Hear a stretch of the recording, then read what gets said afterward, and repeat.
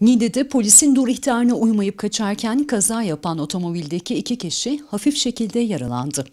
Alınan bilgiye göre eski sanayi bölgesinde görev yapan polis ekipleri 51 ABH 278 plakalı otomobili durdurmak istedi.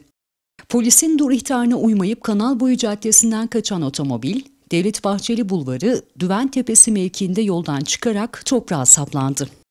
Otomobili takip eden iki ekip otosunda da maddi hasar oluştu. Kazada kaçan otomobilde bulunan iki kişi de hafif şekilde yaralandı. Tedbir amaçlı Niğde Ömer Halis Demir Üniversitesi Eğitim ve Araştırma Hastanesi'ne kaldırılan şüpheliler işlemlerinin ardından gözaltına alındı. Şüphelilere yeni tip koronavirüs tedbirleri kapsamında sokağa çıkma kısıtlamasını ihlal, alkollü ve ehliyetsiz araç kullanmaktan ceza yazılacağı öğrenildi. Götürsene şu tarafa doğru.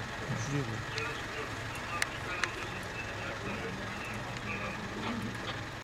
alırız biz şimdi. 16'yı alırız.